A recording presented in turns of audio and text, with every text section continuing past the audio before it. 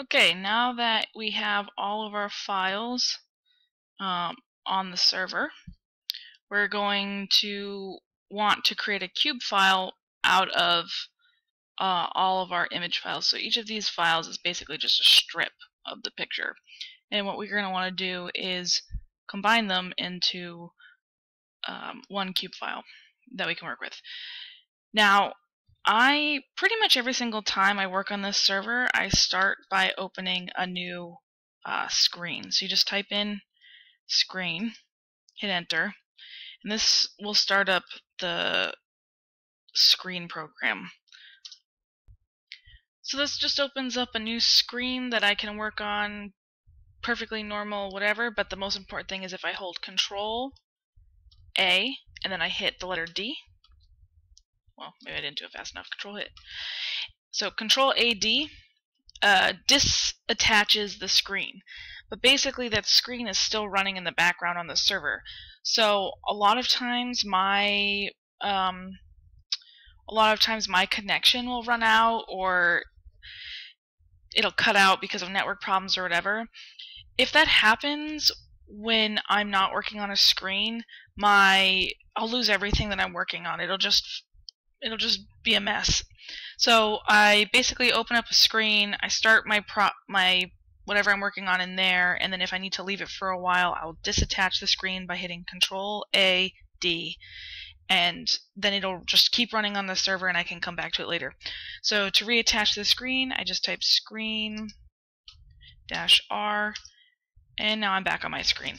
So that is something you're definitely going to want to use because a lot of things on on this in this process take a really long time and you're going to be kicking yourself if you don't use the screen.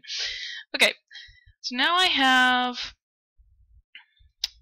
my files on here. Oh, sorry, give me a second. Okay, so I got all my red files. And what I want to do is I want to turn them into one cube file. Okay, so the first thing you have to do is you have to make sure you are working in an ISIS environment.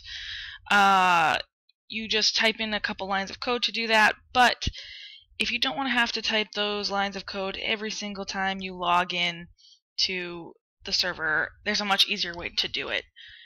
You just add it to your profile. So what you'll do is you'll go to the home folder,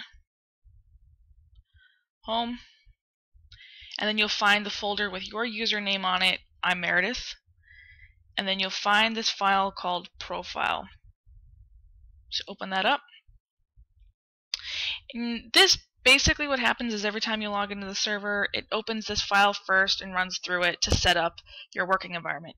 So what I've done is I've actually added this line here so that every time I open up or every time I log in, um, I'm in the top directory. But then these are the lines that you need in order to use, uh, in order to create the DEM. So you have to export this path. Now this is a path to where the stereo pipeline is located on the server. Yes, it's underneath my name, but you're going to want to copy that exactly how it is.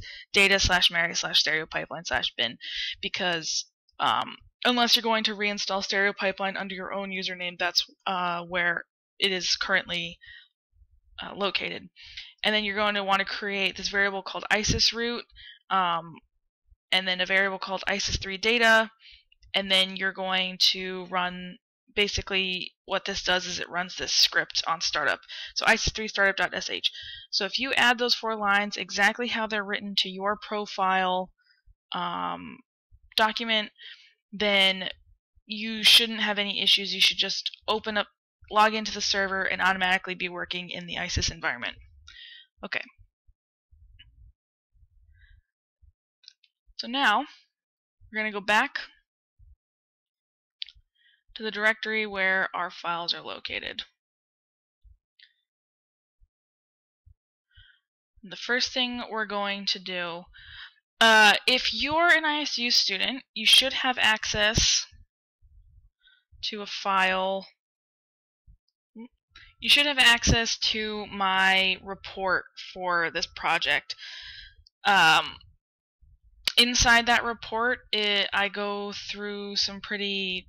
I mean, I think it's decently detailed. Not as detailed as this is going to be, but it go it goes through all the steps that you're gonna have to do. So, uh, you can definitely refer to that. If you don't know where to find this, if you go to the school library website and you just search HiRISE, uh, there should be two reports in there. One from Stan Kathler. He did he worked on this the year before me, and then my uh, individual report. So Meredith Campbell, just look that up.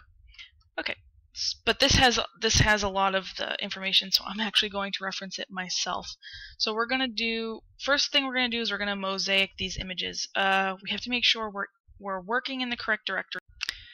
So to get to the correct directory, I'm just going to type cd and then the directory I want to be in. So data Mary 15 oh yeah 1505 that's what I want. Yeah. Okay and then the command to mosaic is hiedr2mosaic.py and then you're just going to type in the name the file. So ESP underscore O2 4818 underscore 1370 underscore. Now you're going to want to just do the red files. Um, so these ones I wouldn't worry about, but we're going to do the red files. So all of these files that have the word red in them have the same beginning and then just have a, a, a different ending. So I'm just going to put a star img so that it will work with all of those files. Hit enter. If it found ISIS, that's a good, that's a good uh, sign that you did your profile file correctly, and I'll let you know when this is done.